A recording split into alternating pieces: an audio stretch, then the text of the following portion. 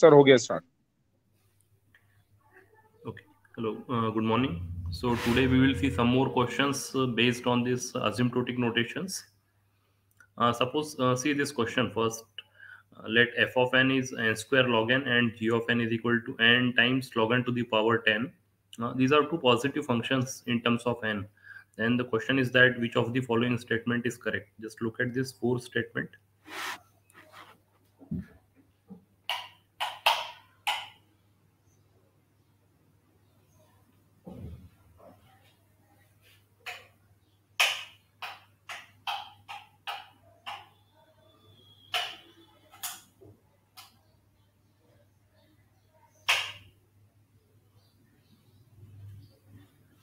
The first option is f of n is order of g of n and second option is g of n is not order of f of n.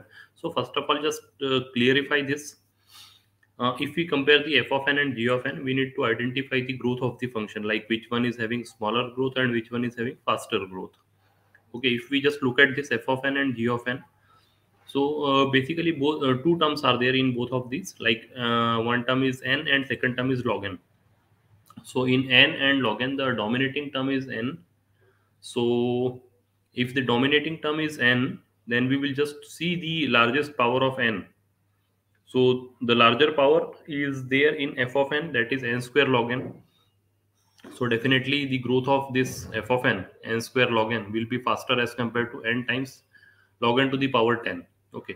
Here uh, though it is log n to the power 10 but definitely this n square log n will dominate this n to the power log n to the power yeah sorry n multiplied by log n to the power 10 uh, if it would be log n to the power 100 then also this n square log n at some point of time will eventually dominate this n times log n to the power 100 okay. So if we just see the growth of the function g of n is having uh, smaller growth as compared to f of n so correct answer is that uh, g of n is order of f of n. Now just look at this option. Option a is saying f of n is order of g of n. This is wrong. Option b is saying yeah option d is also saying f of n is order of g of n. Now two options are remaining with us b and c. Among these b and c we just need to see which one is correct. So b is saying g of n is order of f of n. That is perfectly fine. And it is saying that f of n is not order of g of n. That is also perfectly fine so option b is the correct option. Okay just look at once uh, at option c. What it is saying f of n is not order of g of n. That is correct. And but here it is saying that g of n is not order of f of n. That is wrong. G of n is order of f of n. So correct option here is option b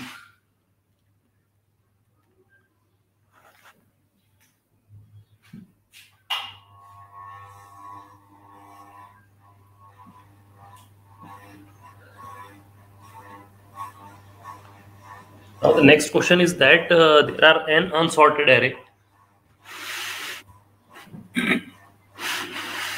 a1, a2, a a3 up to an.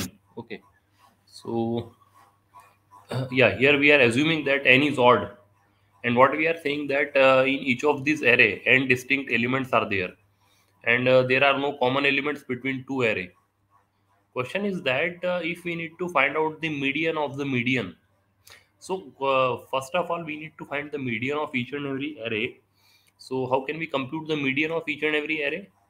So median of A1 is computed in log n times, n log n times. Okay. Then uh, median of A2 is also computed in n log n times. So finally, how many such arrays are there? Total n arrays are there. Uh, time complexity for computing median of one array is n log n and if we are having n such array then the time complexity of computing the median of all the n array will be n multiplied by n log n. That is nothing but n square log n. Now what we have done we have computed the median of first one then median of second one median of third one. We have uh, likewise we have computed median of all the arrays. Now we need to compute the median of all these medians. Once again one uh, n log n time complexity will be required so the final time complexity will be n square log n plus n log n. Okay. But if we just look at this n square log n plus n log n, it can be written as order of n square log n. So correct option here is option C. Anyway, uh, another thing is that uh, there is no need to see the uh, questions at all in this case because it is saying the worst case time complexity just look at these four functions order of is basically used for providing the upper bound. Order of n order of n log n order of n square log n and order of n square. If we just see the growth of the function so first uh, least growth is there for order of n then uh, second time uh, order of n log n after that n square comes and then finally n square log n comes. The approximate or the uh, maximum growth of the uh, which function is having maximum growth? This n square log n is having maximum growth. Assume for a second that if the correct option would be second n log n. Now see if it is correct option order of n log n. If order of n log n is correct answer then order of n square would also be would also have been the correct answer. Order of n square log n would also have been the correct answer. Because see if it is n log n then n square is also correct because it is also providing the upper bound. Here in this case it is not mentioned that the bound provided by the uh, asymptotic notations may be or may not be asymptotically tight okay. So here it is not possible that any uh, smaller growth function is having the correct answer because it would be an ambiguous thing in that case so if we just consider that option d would be the correct option order of n square. But if order of n square is correct answer then order of n square log n is also correct answer. Then that is the ambiguity. So if there is no such ambiguity in the question itself then what we need to do? We need to select the largest growth function.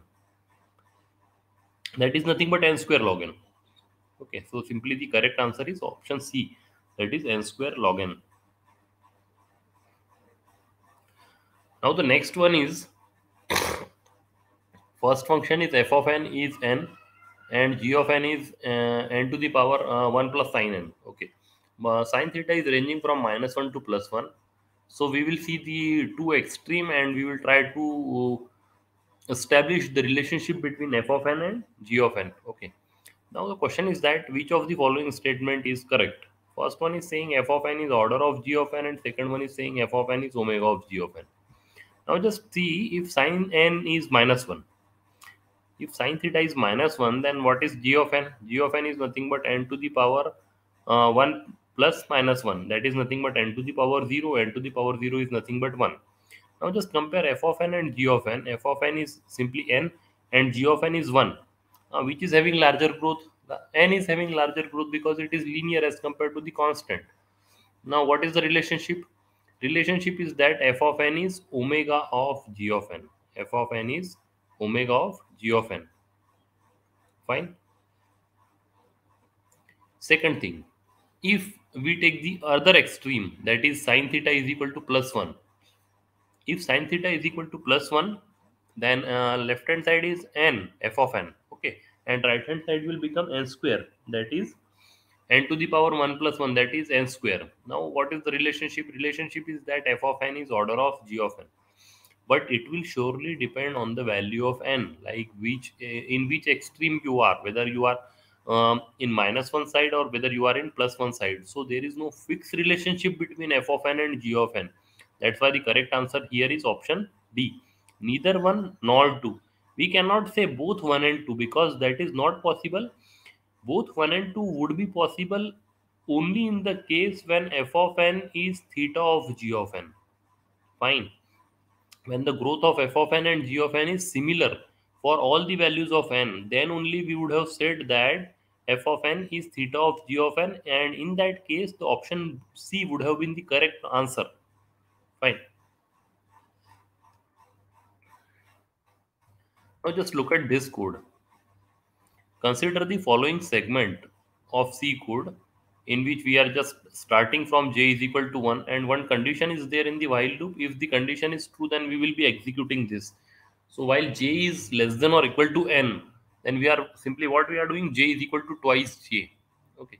So for this, just look at this one the number of comparison made in the execution of the for loop for any n greater than 0 so what it is asking for it is asking for the number of comparison made in the execution of the loop. Now see it might be possible that uh, for several number of times this condition is false and lastly this condition is uh, sorry for several number of times the condition is true then you execute this statement and lastly the condition is false when you come out of this loop. Okay then total number of comparison is nothing but several number of comparison made in the uh, made when the condition is true and lastly one comparison when the condition is false. This is the case okay? Now if we see n is equal to 5 just take one example. When n is equal to 5 and j is starting from 1 so first comparison would be 1 is less than or equal to 5 second comparison when j will become 2j then 2 is less than or equal to 5 this is second comparison third comparison 4 is less than or equal to 5 and last comparison 8 is less than or equal to 5 so three comparisons for true. Okay when the condition is true and last comparison is when the condition is false. So total how many comparisons are made? Total four comparisons are made.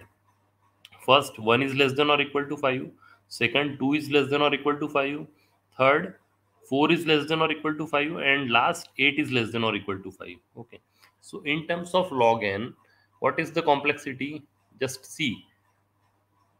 If we say log n and we will see the upper bound of this. If we see the upper bound of this then just look at this. The first example if we say n is equal to 5 then log 5 will be 2 point something. Okay and if here if we are taking the ceiling of this suppose the uh, final answer is 2.1 and we are taking ceiling of this 2.1 then it will become 3 then 3 plus 1 this will be the correct answer. Okay. So here we are making four comparisons. So option a is the correct answer. Just take one another example in which suppose n is equal to 4 when n is equal to 4 then see first comparison will be 1 is less than or equal to 4 second comparison 2 is less than or equal to 4 third comparison 4 is less than or equal to 4 and last comparison 8 is less than or equal to 4 how many comparisons we are making now? We are making four comparisons. Okay. Now just see whether this expression is giving the correct answer or not.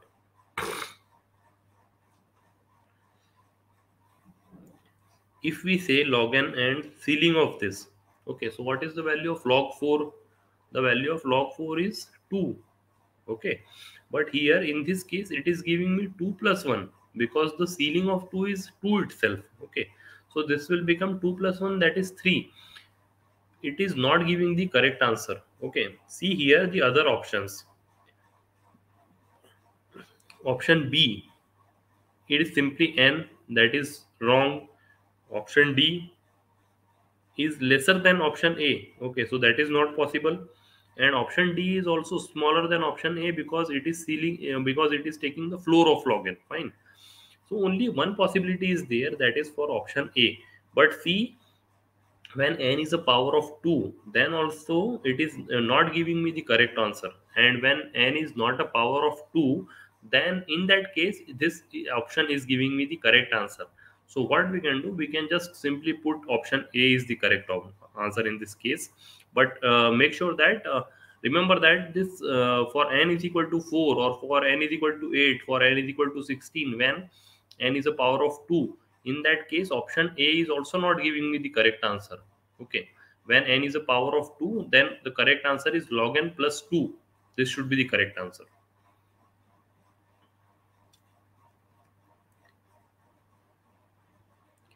now just simply see one more example. Let wn and a of n denotes respectively the worst case and average case running time of an algorithm executed on an input of size n. Which of the following is always true? Okay. So here if we just consider one example of binary search okay what is the worst case time complexity of binary search log n what is the average case time complexity? Once again log n. What is the relationship between wn and a of n? That is same. Okay. See one more example. Uh, in case of quick sort what is the worst case running time of quick sort worst case running time of quicksort is n square. What is the average case time complexity of quicksort?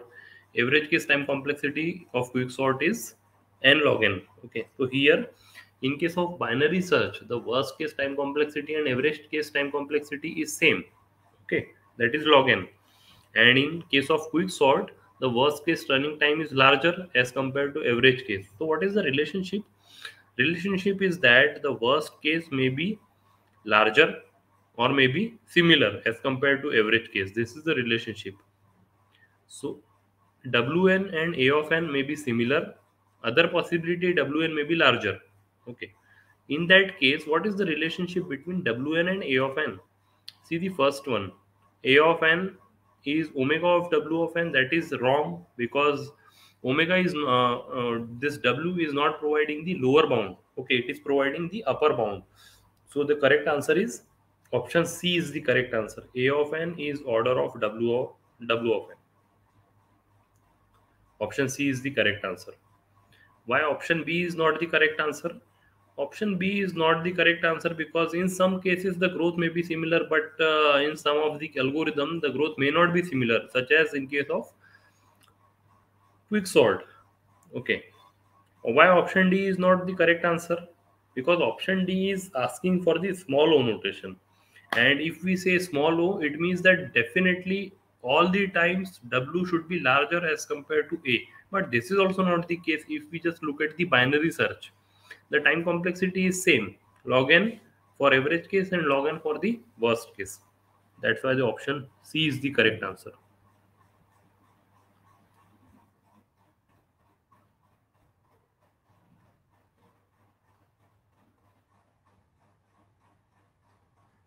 Now just see here which of the following provides the increasing order of asymptotic complexity of the function from f1 f2 f3 and f4 and these are the values. F1 is equal to 2 raised to power n f2 is equal to n to the power 1.5 f3 is equal to n multiplied by this is uh, simply some misprint is there. This is n log n and base of that log is 2 and f4 is n to the power log n base 2 okay.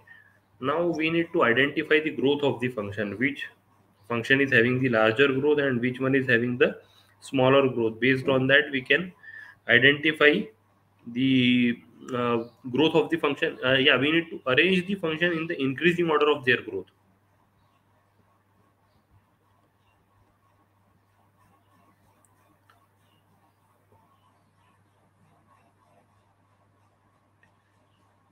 Now see just look at this first f1 f1 is 2 raised to power n and f2 is equal to n to the power half. If we compare f1 and f2 so f1 is exponential and f2 is polynomial. Definitely the exponential will dominate the polynomial. So 2 raised to power n is having faster growth as compared to n raised to power 1.5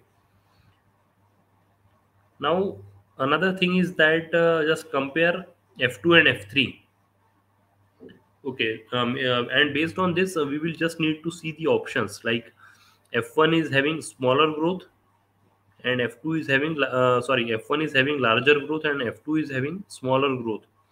So in each of see the option. Here f2 is smaller. After that f1 is coming in option b also. F2 comes first after f1 in f option c f2 comes before f1 in option d f2 comes before f1 so there is a fixed relationship between f1 and f2 now, which are the contradictory option? See here, if we just look at the option closely, in some of the option, the growth of F3 is smaller as compared to F2 and in some of the option, the growth of F2 is smaller than F3. Now, we need to compare F2 and F3. If we just compare F2 and F3, then simply we can discard two wrong options f2 is n raised to power 1.5 and f3 is n log n. Now see in n log n which function is having larger growth or which is the dominating term? Dominating term is n. The power of n is 1.5 that is larger in f2 as compared to f3 so definitely f2 is having larger growth as compared to f3 okay just look at this option a. In option a f3 comes first. F3 come first as compared to yeah before f2 that is correct. And in option b also f3 is coming first before f2 that is also correct. Option c and option d is not correct because in option c and option d it is mentioned that f2 is having smaller growth as compared to f3 that is wrong. So we have simply discarded two functions two wrong options. That is option c and option d now we are left with two options option a and option b. Now in option a and option b if we could simply compare f1 and f4 then we would have get the answer because in option a it is saying that f4 is having smaller growth as compared to f1 and in option b it is saying that f1 is having smaller growth as compared to f4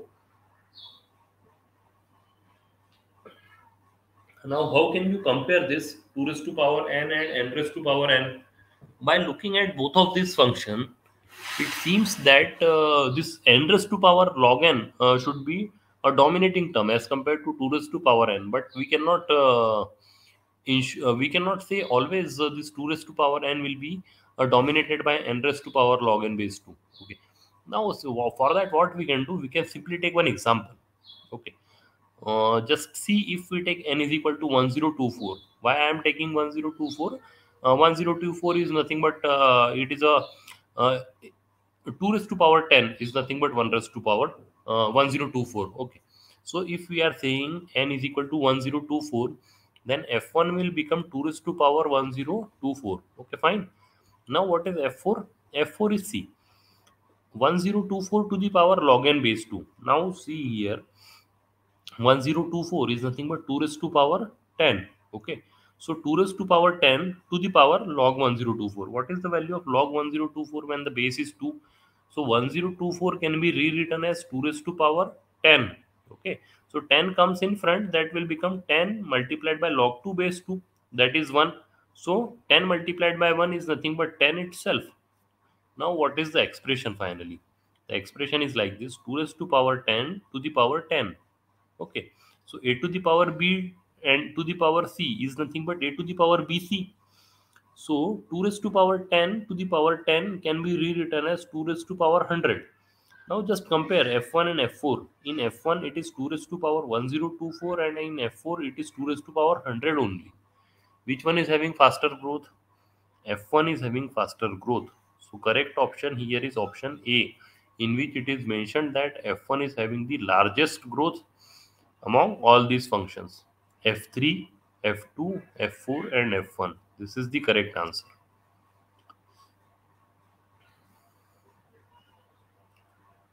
See the another question in which f of n is saying that it is 2 raised to power n g of n is n factorial and h of n is n raised to power log n. Okay we have already compared this uh, 2 raised to power n and n raised to power n. So here uh, in the previous example, we have just seen this. This is n raised to power log n. And here 2 raised to power n. So 2 raised to power n uh, will simply dominate this n raised to power log n. And uh, if we just see the example, which of the following statement about the asymptotic behavior of f of n, g of n, and h of n is true? so simply just look at this. Uh, when f of n is order of g of n, yeah if we just compare f of n and h of n so option d it is saying that h of n is order of f of n that is perfectly fine.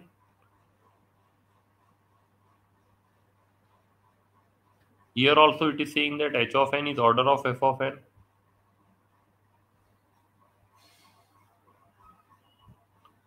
Now what is the other relationship? Other one is just look at this compare f of n and g of n. So if we just see f of n and g of n, see if n is equal to 5, then it will become 5 multiplied by 4 multiplied by 3 multiplied by 2. Okay. So this will uh, comes around like uh, 5.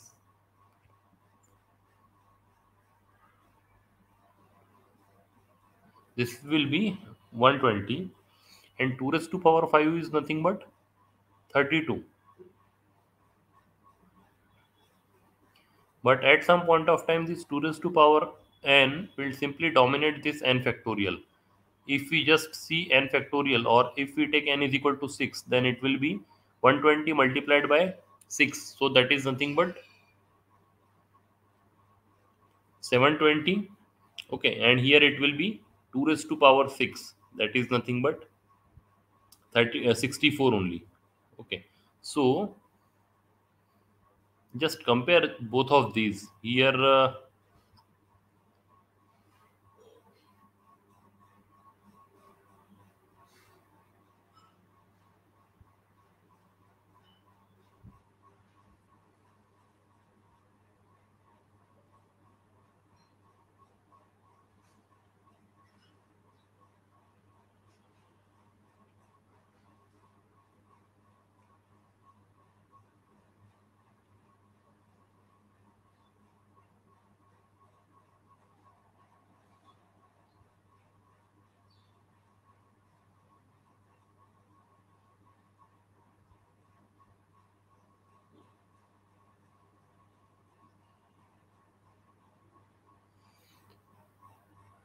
now just compare this f of n and g of n. Suppose n is equal to 10 okay. So see here when n is equal to 10 then it will become 10 multiplied by multiplied by 9 multiplied by 8 multiplied by 7 like this uh, from 10 to 1 okay. Here it will be uh, 2 multiplied by 2 multiplied by 2 multiplied by 2 like this. Okay. So if we just compare f of n and g of n the growth of g of n will be larger as compared to f of n Okay, so what we can do? We can simply say that f of n is order of g of n. f of n is order of g of n. So th this is perfectly fine, and it is saying that g hmm. of n is order of h of n. Now just look at compare this g of n and h of n.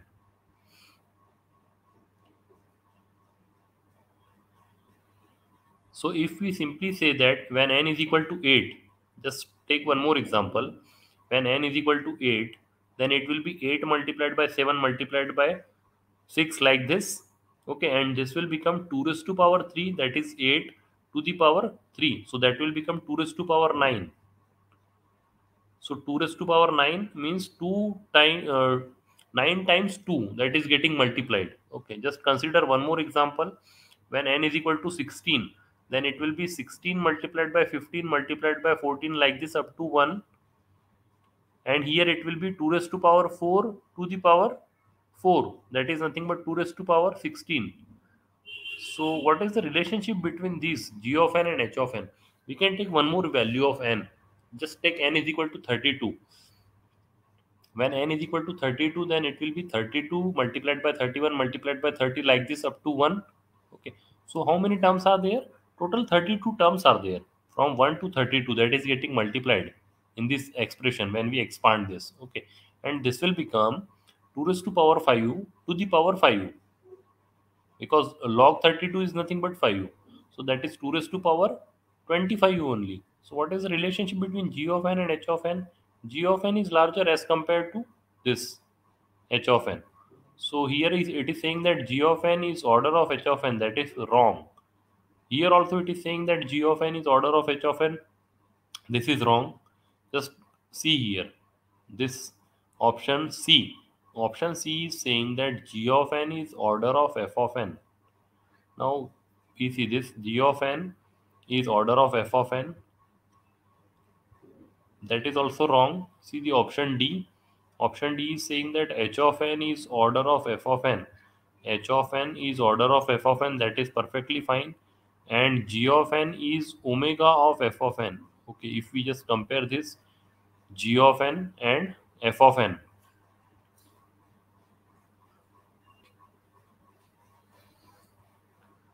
So this option is also correct. So option d is the correct answer here. First answer is that h of n and f of n. H of n is order of f of n that is perfectly fine. And second option if we just compare g of n and f of n.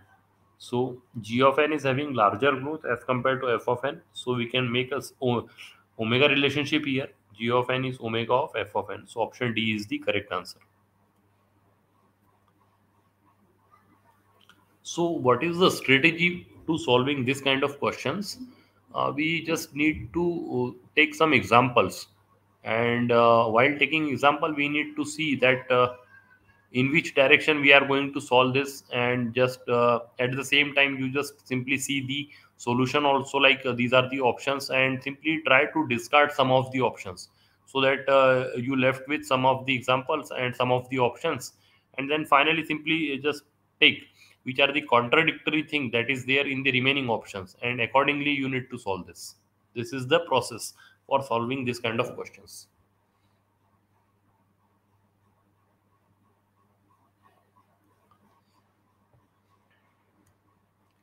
now another thing is that the time complexity yeah the time complexity of the following function is this.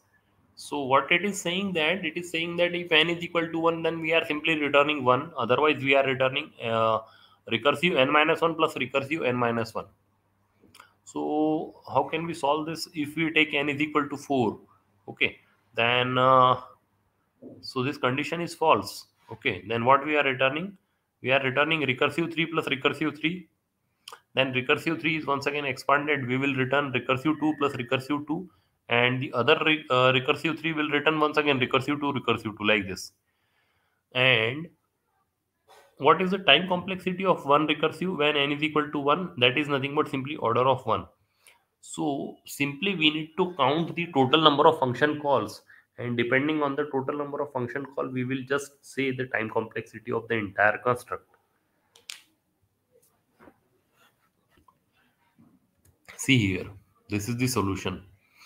When recursive 4 is expanded then it is expanded like this recursive 3 plus recursive 3 okay. Once again uh, recursive 3 is expanded like this then it is having uh, these many function calls. We are just counting the function calls in the right hand side so at leaf level total 8 function calls are there. Time complexity for one function call is order of 1 in the second uh, second last level the total number of function call is 2 uh, sorry function call is 4 then 2 function call and then 1 function. Total number of function call is 1 plus 2 raised to power 1 plus 2 raised to power 2 plus 2 raised to power 3 okay. So how many function calls are there? Total 15 function calls are there. What is the relationship between 4 and 15 instead of this 4 if we would have started with 5 then it will be 31 what is the relationship? Relationship is that it will be uh, rewritten as 2 raised to power n minus 1 okay so 2 raised to power n minus 1 is the exact expression and 2 raised to power minus 1 can be rewritten as order of 2 raised to power n. So order of 2 raised to power n is the correct answer so we can simply put option d. But uh, as i have suggested earlier there is no need to see the options at all just look at this. It is not asking for the asymptotically tight complexity. We need to simply see the largest one and we need to select it. See here. This is order of n. Okay after that n log n comes then n square and then 2 raised to power n. So 2 raised to power n is having the fastest growth as compared to all other functions. So simply we can just put order of 2 raised to power n is the correct answer. Why? Because uh, it is not asked in the question that the bound provided by the asymptotic notation should be asymptotically tight so uh, for a second just assume that if the option b is the correct answer and if option b, option b would have been the correct answer like the n log n and simply we can also say n square is also correct answer and 2 raised to power n is also correct answer. If this is the case then it would be an ambiguous question and to remove this ambiguity it is not possible that n log n is the correct answer. So if option c is the correct answer and if we say that option c is the correct answer like n square then definitely 2 raised to power n would also have been the correct answer because 2 raised to power n is also providing the upper bound but it is not the asymptotically tight bound but it doesn't matter in this because it is not mentioned in the questions so to remove this ambiguity what we will do? We will simply select the largest one and we will simply put the correct answer as the largest function that is 2 raised to power n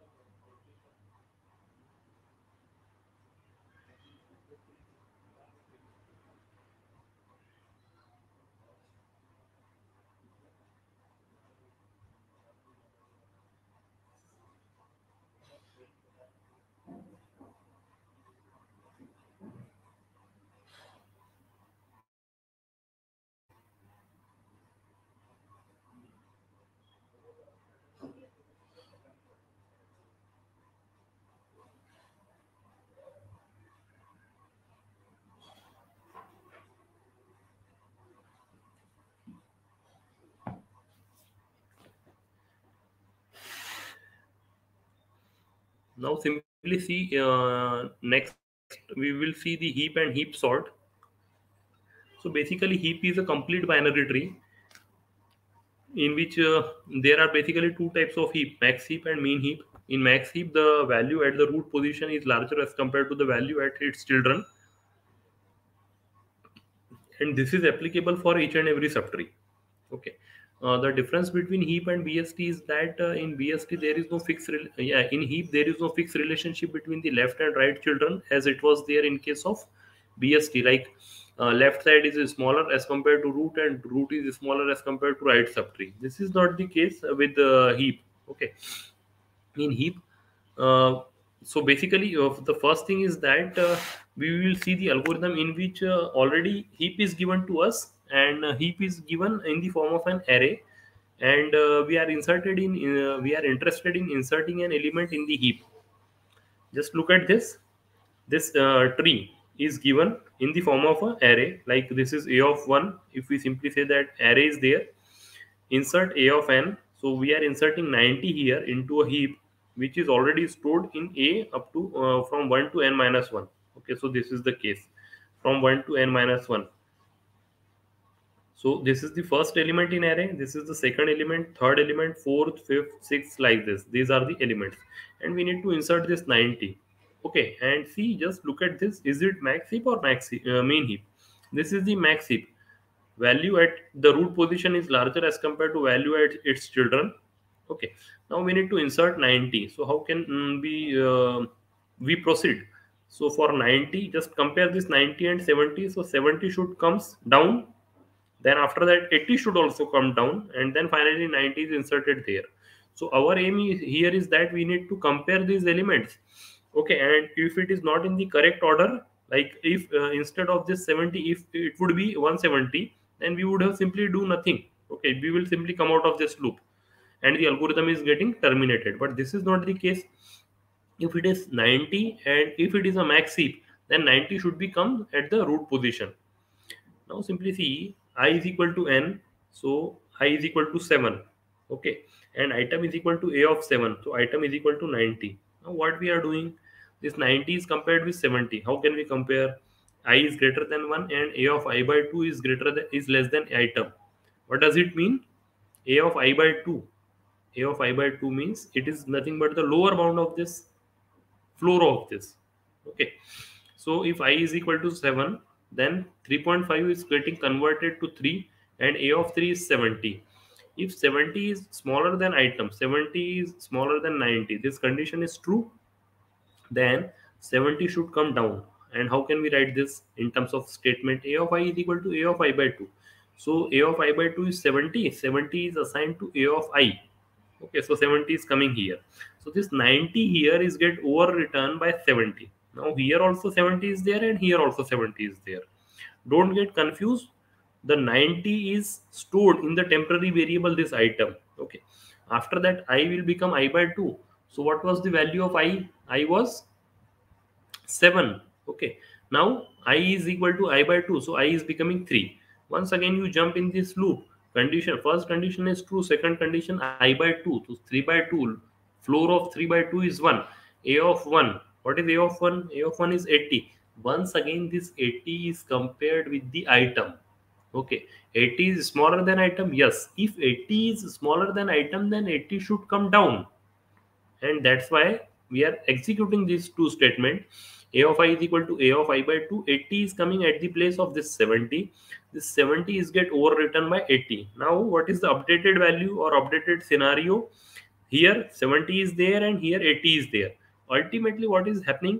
This 80 and 70 both are shifted one position down. Here 80 is coming and here 70 is coming. Once again you jump here. Now this time you are saying i is greater than 1 this condition is false because i is 1 now okay? When this condition is false you come out of this loop and a of i is assigned as item. What is the updated value of i after this while loop? That is 1 okay? So item is equal to 90 90 is assigned to a of 1 that is perfectly fine. 90 is assigned here. You converted into a heap. Basically it was heap only. We, this is just an uh, algorithm in which we are inserting uh, one more element in the existing heap. What is the time complexity? Time complexity is log n because see uh, this loop is running uh, like this. I is equal to i by 2 every time the value of i is get half okay. So this uh, time complexity is log n because i is starting from n. Suppose the initial value of n is 16 then uh, in the second iteration it will become 8 in the third iteration it will become 4 in the next iteration it will become 2 like this. Okay so the time complexity will be log n base 2 this was the algorithm when we are inserting an element into a heap. Now if we simply given a random array okay then from this random array i need to construct a heap. Then how can i construct this? So for this we are having algorithm heapify. A n a is the array random array that is given to us and n is the total number of element in that. Okay. So this algorithm is running from n by 2 to 1 okay. And what we are calling we are calling here adjust a 3n so just see this is the first sequence given to us random array 100 119 118 so a of 1 a of 2 a of 3 and if we are interested in accessing the children of the i that is nothing but 2i and 2i plus 1 okay just see here the value of i means the index of the array is 1 for 100 okay so two children are there that is at 2i and 2i plus 1 so at 2i that is 2 and at 2i plus 1 this is the children that is 3 okay if we just see index 3 for index 3 two children of 118 will be at 2i and 2i plus 1 when i is equal to 3 then two children will be at 2i means 2 multiplied by 3 and at 2 multiplied by 3 plus 1 that is at index 6 and 7 two children will be there. So at index 6 151 is there and at index 7 132 is there. Fine. So look at this transition from figure a to figure b. This is the transition in which we are constructing this particular structure or we are transforming this particular subtree into a max heap. And how can we transform this in uh, this particular substructure? So here 151 is there. This 151 is transferred here. So it, this is uh, converted into a max heap. Similarly after that we will see the another substructure this one. 171 should be shifted here so after that figure B to figure C, we will see 171 is shifting here, 119 is coming here. After that, the entire structure is transforming into a heap. Now see, in heapify, the main uh, loop is there, which is running from n by 2 to 1. What is the value of n here? The value of n is 7. It is running from 3 to 1. Okay. So first adjust a3n, then adjust a2n, and then adjust a1n.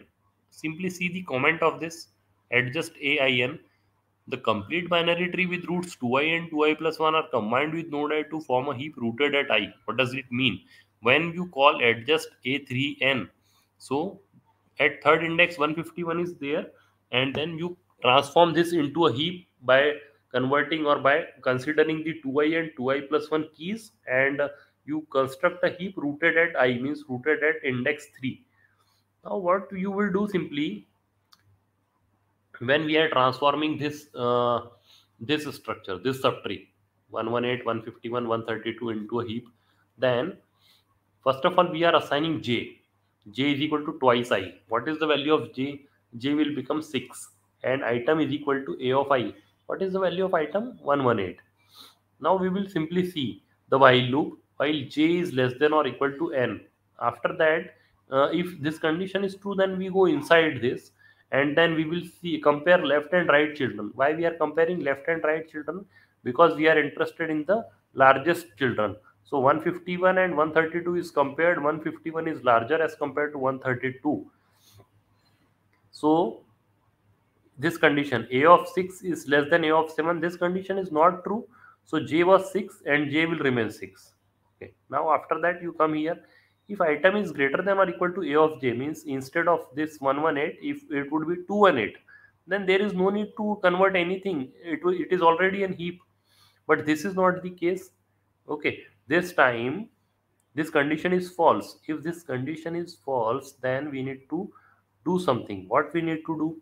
A of j by 2 is equal to a of j. What is the value of a of j?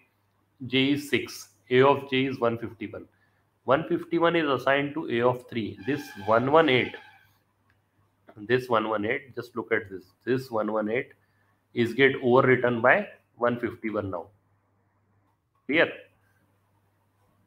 after that j is equal to 2j j. Was 6 now j is becoming 12 once again you jump in the while loop and you will check.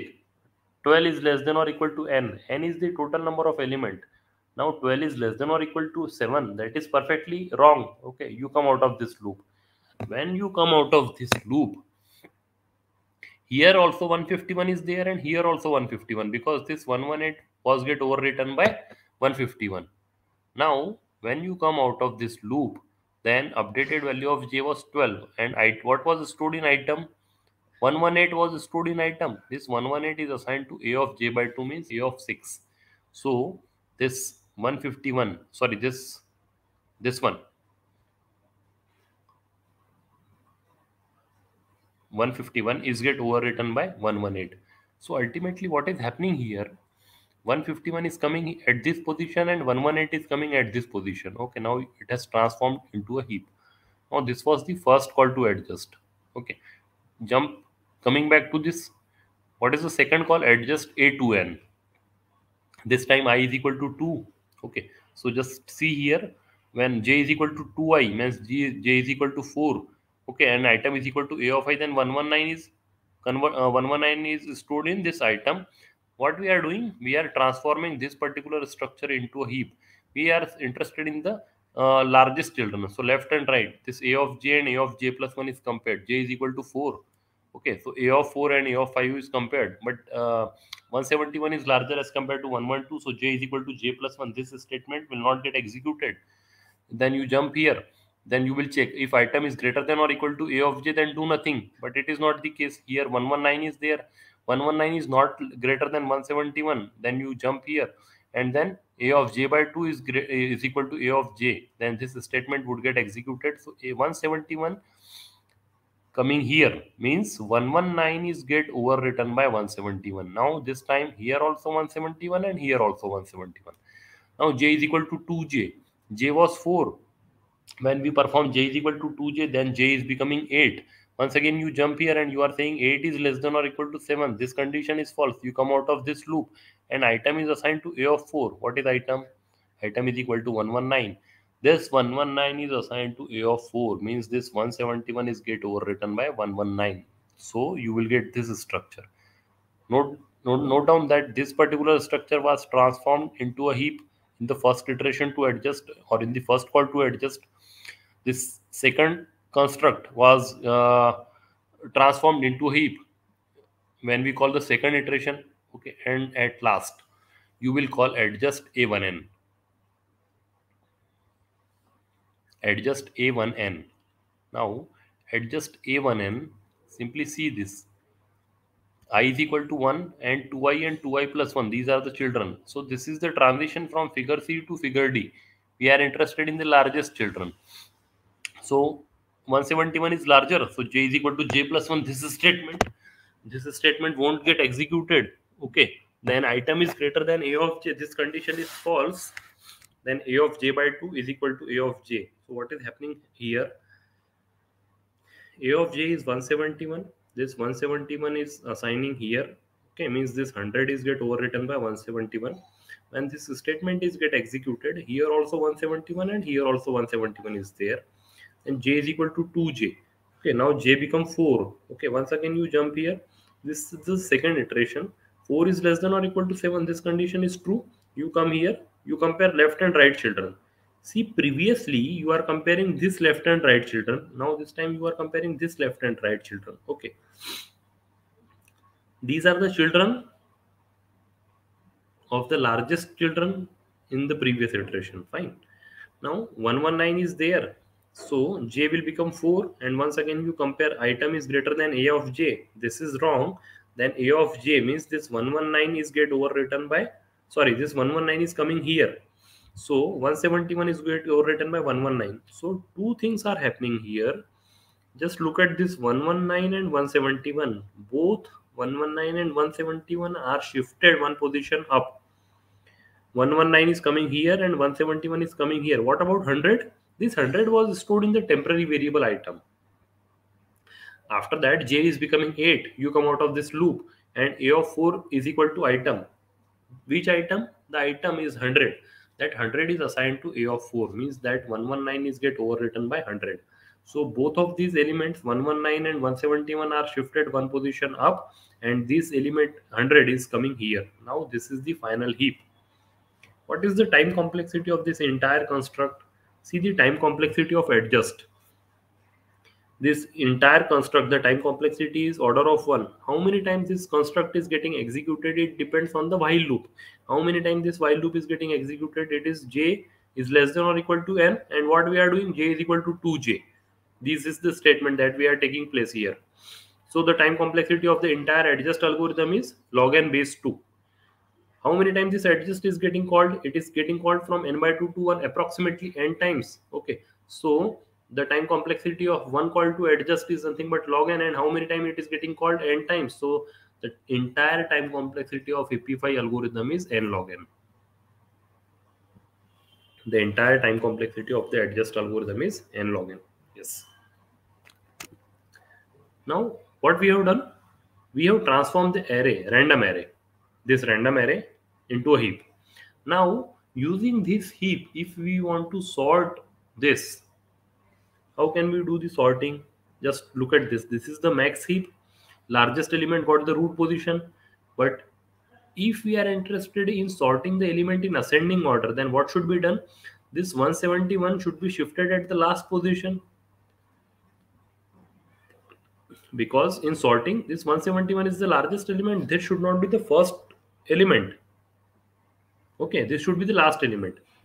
Can we simply do the reversing no, we cannot do the simply reversing because there is no fixed relationship between the left and right children of the heap. That's why reversing is not possible. Otherwise, we would have done the reversing the elements and we would have get the sorted sequence. But this is not the case here. See here, this is the heap sort algorithm. First step, random array is given to us. Using this random array, we will transform this into a max heap. Then this loop is there which is running from n to 2 step minus 1 so what we are doing here?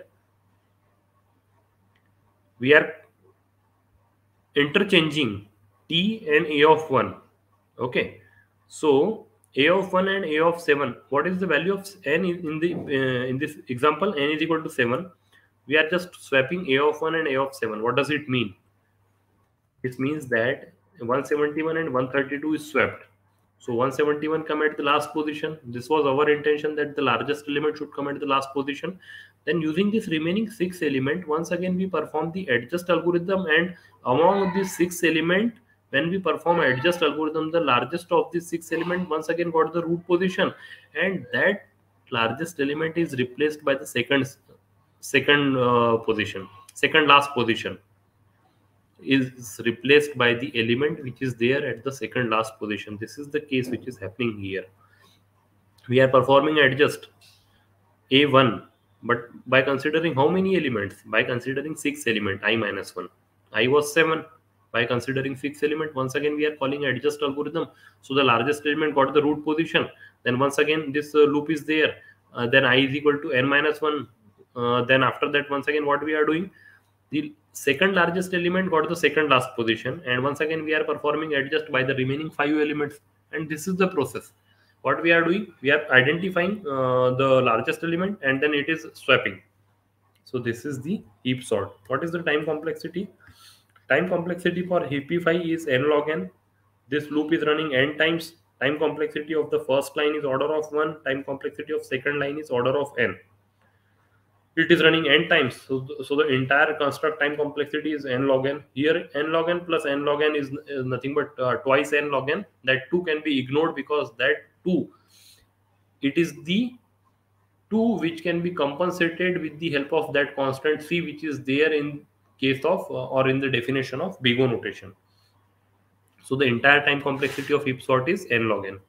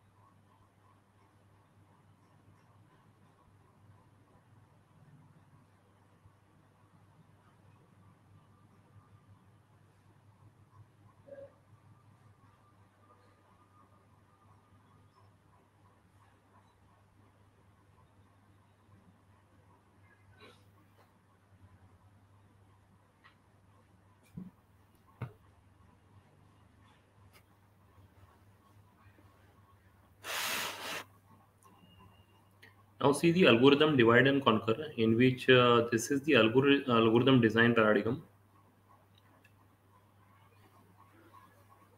uh, in which we will just see simply see the problem. Like if the problem size is large then we will divide the problem into several sub problems and those sub problems are recursively decomposed. Okay. And lastly what we are doing uh, we are just combining this uh, the solution. Like see just look at this. This is the recursive call dac d and c uh, this p1 then p2 these are the sub problems finally we are just combining this and we are returning it. So if n is small, then simply we will solve the problem and the time complexity is g of n. Otherwise, uh, t of n1 means uh, initially suppose if n elements are there in the original uh, problem, then we are dividing the elements. Like n1 elements are there in the first sub problem and 2 elements are there in the second sub problem like this and we are recursively calling this. So this is capital t this is also capital t. And this f of n is nothing but function to combine the solution of this. Uh, simply see the one example. If we are interested in searching the element in the array so what we can do? Uh, suppose 100 elements are there in the array. So we can divide the array into 10 parts. Okay. So we uh, simply search that element. In the first 10 elements in the set of second uh, 10 elements in the set, third set in the fourth set like this. This can be done in parallel. And at last this combining is done. Like uh, in which set we got that element? This is nothing but the time complexity of combining the solution. This is the DAC approach. In this DAC approach we will see some problems such as merge sort quick sort binary search min max algorithm. These are the problems which can be solved using the DAC approach so simply see here this is the binary search example. So in binary search what we do simply? That uh, binary search is nothing but uh, an algorithm in which sorted sequence is given to us. And in that sorted sequence uh, we simply find out the element uh, is present or not. So uh, what is the strategy here? In binary search we divide the problem into two sub problems and we will simply see that uh, the element the possibility of element whether it is in the first half or it is in the second half. If it is in the first half then we discard the second half. If it is there uh, if it is the possible that uh, it will be in the second half then we will discard the first half like this. So i and l these are the indices lower and upper bound lower and upper index. Then uh, these are the elements in the non-decreasing order means increasing order determine whether x is present or not. And if it is present then simply return j otherwise return 0 so if l is equal to i means this problem can be solved using dac approach okay in the DAC approach, we need to define the problem when the problem will considered as small and when the problem uh, will not be considered as a small problem. So how the problem can be considered as small? When only one element is there, then the problem can be considered as small. And how can we define that whether the single problem, whether the problem or whether uh, it is having single uh, element? So when n l is equal to i means the lower index and the upper index is same. It means that how many elements we are considering? We are considering single element. If we are considering single element then it is the case when the problem size is considered as small. Okay so single element is there in consideration then we will see if x is equal to a of i and if it is true it means that the element is found. Otherwise we just return zero. Means the element is not present. Other than this means more than one elements are there in consideration. In that case what we will simply do? We will simply divide the problem into two sub problems and how can we divide the problem into two sub problems so lower index is there upper index is there. Based on this lower and upper index we compute the middle element or middle index so mid is equal to low plus i divided by 2 okay. So based on this we will divide the problem into two sub problems there are three categories now. The elements are there in sorted sequence. So we compare a of mid with x. What is x? X is the element that we need to search in the array. So x there are three possibility first possibility x is equal to a of mid. Second possibility x is less than a of mid. And third possibility x is greater than a of mid okay. So if x is equal to a of mid then we simply return mid. If x is less than a of mid it means that the element that we are interested in searching okay that element is smaller. If the element is smaller than a of mid the element should be present in the first half. Otherwise the third possibility is there when x is larger than a of mid then the element should be present in the second half. So based on that whether it is present in the first half or whether it is present in the second half we will divide the uh, that particular set uh, there is that is there in consideration. Like uh, here when original consideration was from i to l okay and if it is there in first half then the upper indexes get updated and it will become mid minus 1 why mid minus 1 because at mid we have already checked the element is present or not. That's why the lower index or the sorry the higher index is set as mid minus 1 the other possibility is that uh, the lower indexes get updated. Lower index is starting from mid plus 1 so two possibility are there. I to mid minus 1 when we are interested in the first half. Second possibility mid plus 1 to l when we are interested in second half. And x will remain same the element that we need to search. The time complexity of this construct is log n base 2 why because each and every time we are dividing the array into two equal parts. That was the recursive version. That was the recursive version. See here this BinSearch is recursively called. Now see the iterative version of this. If you just compare the recursive and iterative version so every time these two functions are get called uh, and uh, each and every time uh, this function is get called recursively otherwise the same problem can be implemented using a while loop or using any particular looping control instructions. So here it is implemented using while loop. So here i is 1 and uh, low and low is equal to 1 and high is equal to n. Because total how many original uh, how many elements are there in the original array? There are n elements. Okay. So the loop is running uh, till low is less than or equal to high when low is less than or equal to high then we will simply compute the mid that is low plus high divided by 2 and if x is less than uh, a of mid then we update the high index. Otherwise we will update the low index. And otherwise we will return the mid because the third we need to cover all the three possibilities. And if we are not returning anything like at some point of time this condition is false you come out of this loop there are three possibilities of coming out of the, uh, there are two possibilities of coming out of this loop. One is low is less than or equal to high. This condition is false. And another possibility is that you are returning mid. If returning mid is there then you simply return and to the uh, control is returned back to the calling function. So these are some examples of binary search. Just look at this here. 14 examples are given. And if we are interested in searching 151 so initial call is starting from low to high that is 1 to 14 mid is computed. Mid is the uh, summation of this divided by two lower uh, uh, lower bound of this means the floor of this. So 15 divided by 2 7.5 is converted into 7 okay. Just see whether a of 7 what is a of 7 1 2 3 4 5 6 7 for 54 is there and we are searching 151 see 54 and 151 this 151 should be there after 54 so here we are interested in the second half of the problem. When we are interested in the second half of the problem then which index should be updated low or high? Low should be updated. Low is becoming mid plus 1 that is 8 now this is the second iteration. Low is 8 mid is uh, sorry low is 8 high is 14 once again you compute the mid is 11 and at a of 11 you see whether the element is present or not. So what is the 11 14 13 12 and 11 One, 125 is there. 125 is smaller and 151 is larger. Once again we update the mid element. Sorry once again we update the low. So this will become mid plus 1 so that is 12 then 12 and 14 mid is 13 so 142 is there. 142 is la- uh, smaller right? 142 is smaller. Then we will compare or we will just update the low so low will become mid plus 1 this time this is 14 this is 14 mid is also 14 when all these 14 element uh, when all these are 14 then what simply we do?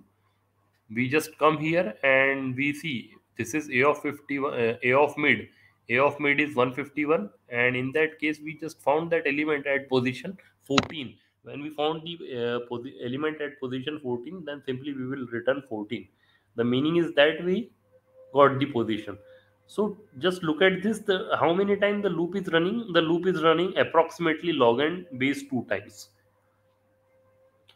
Okay another uh, example is that if we are searching minus 14 then once again we starting from 1 and 14 then uh, it is getting transformed into 1 and 6 then finally 1 and 2 then 2 and 2 and 2 and 1 okay once again it is approximately running log n base 2 times okay.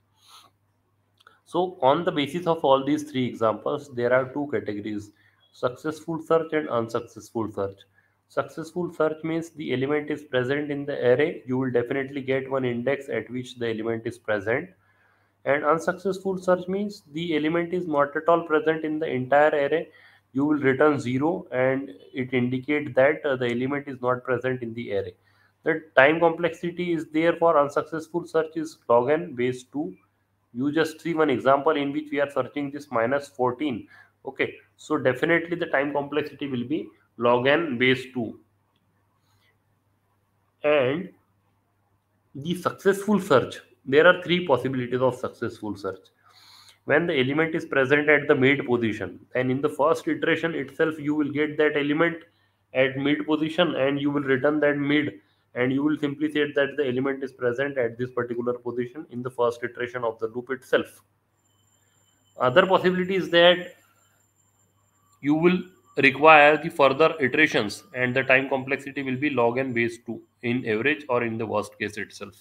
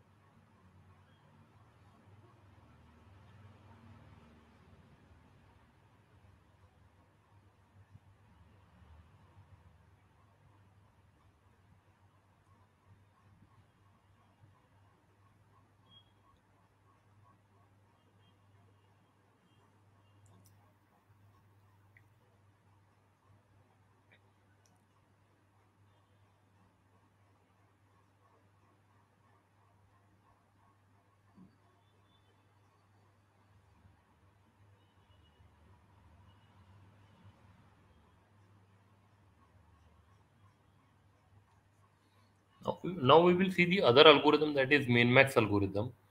In this min-max algorithm, we are interested in finding the minimum and maximum in an array.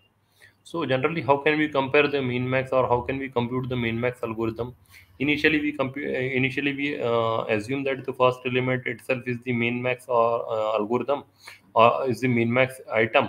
then accordingly subsequently we just start comparing the from the second element onward and as and when uh, we get the second element is larger then we just replace the um, max. Otherwise we will replace the uh, next element. Other um, so uh, this is the uh, normal algorithm in which we will compute the min max algorithm. See max and mean this is assigned as a of 1 and the comparison will started from the second position onwards so 2 to n. Okay if a of i is found to be larger than max means the second element is larger than max then what you do? Max is equal to a of i.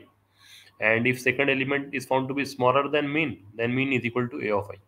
Now here the basic fundamental operation here is the number of comparison. How many comparisons we are making over here?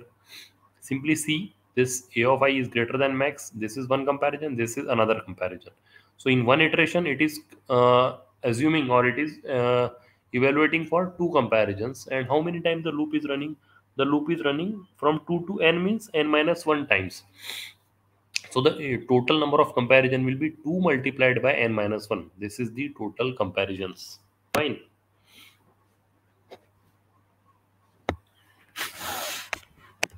Now simply see some sort of optimization that we can apply. Here see the first one is related to the computation of max. The second one is related to the computation of mean. If this condition is true like a of i is larger than max then is it really necessary to check this condition a of i is less than mean? Definitely this condition uh, will not be true because this condition is false. Sorry because this condition is true. You need to check the second condition only if the first condition is false. So some sort of modification that can be can done like this a of i is greater than max then we do this. Else if means if this condition is false then only this condition is checked. Otherwise this condition is not at all checked. Now they, based on this there are two possibilities. Suppose the elements are uh, suppose the uh, array is given in the ascending order okay.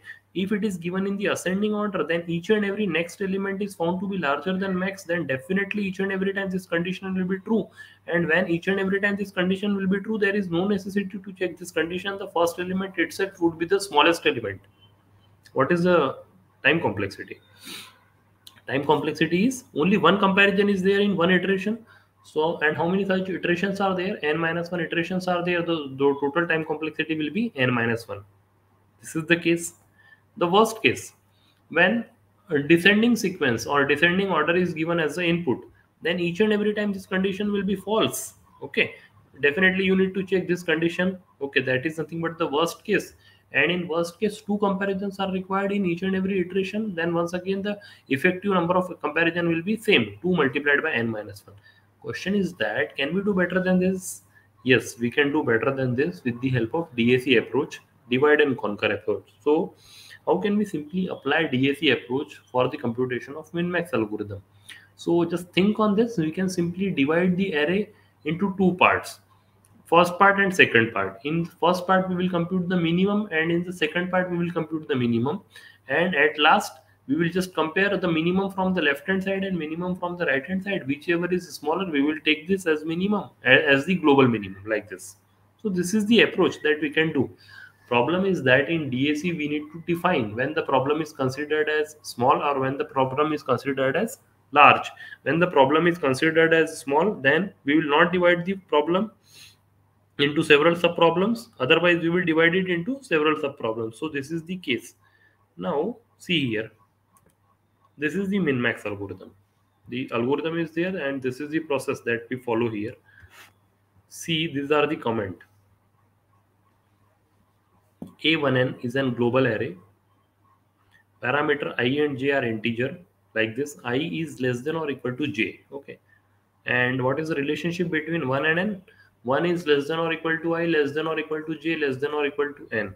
Okay. What we need to do the effect is to set max and mean to the largest and smallest value in a of ij respectively now there are two categories in which we can divide eh, we can define the problem as small problem. The first one if i is, is equal to j it means that single problem is there.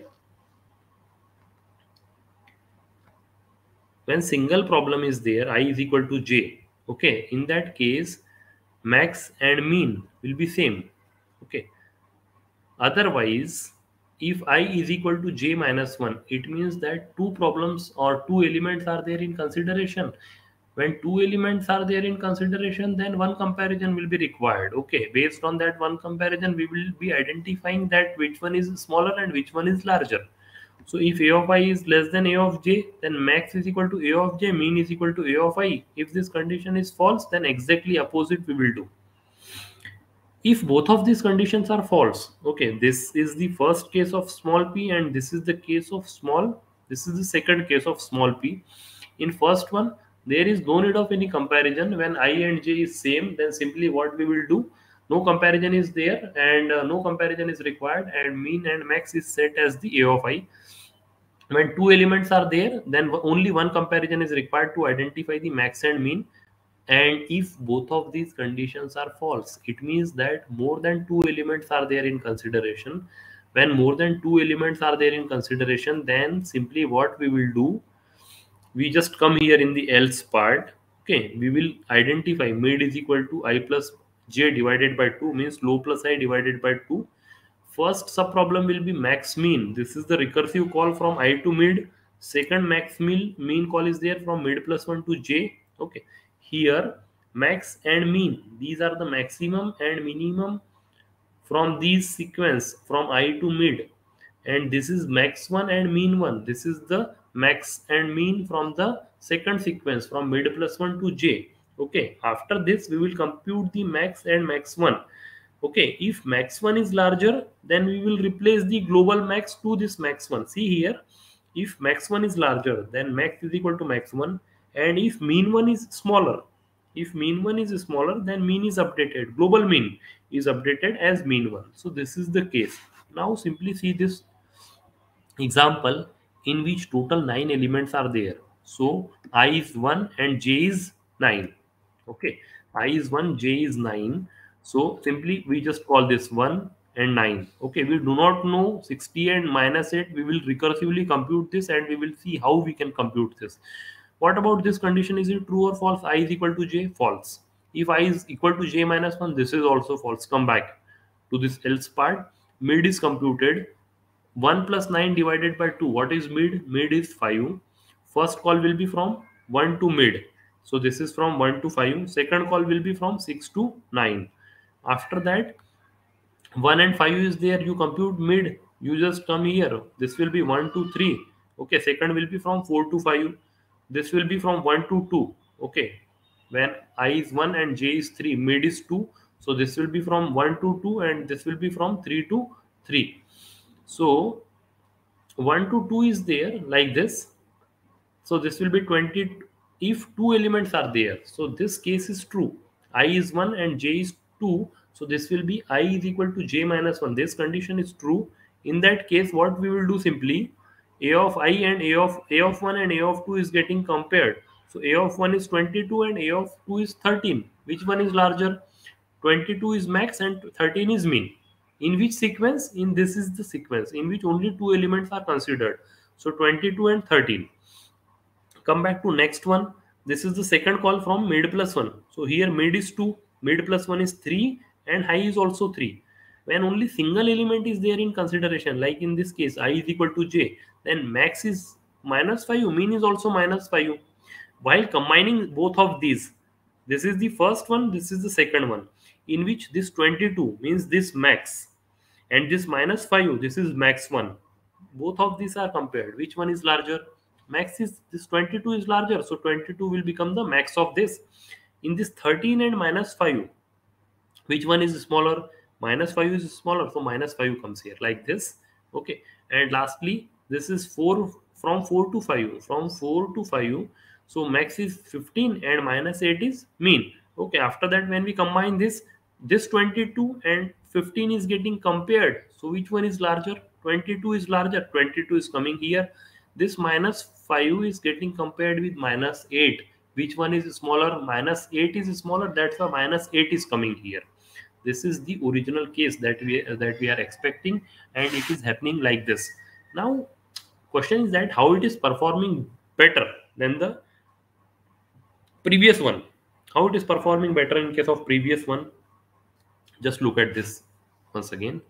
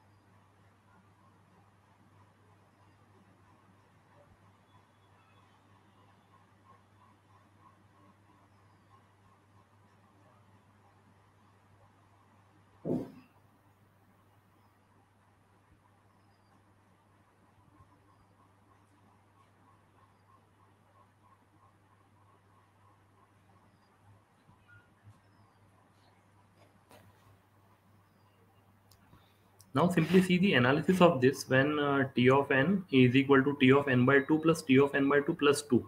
Why it is taking 2? Uh, see here the problem is getting divided into two equal parts from i to mid and from mid plus 1 to n. When uh, in original sequence if we are having n elements then first uh, in first sub problem n by 2 element in second problem once again n by 2 elements and why this plus 2 because in that uh, just look at this uh, one two more comparisons are required. This is one comparison this is first compare this is second comparison. That's why plus 2 when n is greater than 2 and uh, when the problem size is smaller when n is equal to 2 means only two elements are there in consideration then single comparison will be required. And when is n is equal to 1 then uh, zero comparisons are required. So this is the recursive equations or this is the characters uh, we can say the recursive relations uh, for this min max algorithm. Just if you solve this problem so this will become t of n is equal to twice t n by 2 plus 2. If we further solve this, then you will get this generalized expression 2 raised to power k minus 1 plus 2 raised to power k minus 2. Okay, and n is uh, 2 raised to power k. And if you simply see this, then it is com coming out like 3n by 2 minus 2. So 3n by 2 minus 2 is approximately 1.5 times n see the advantage that we are getting in the previous one it was 2 multiplied by n minus 1 means around 2n and here it is around 1.5n so this is the advantage of this in min max algorithm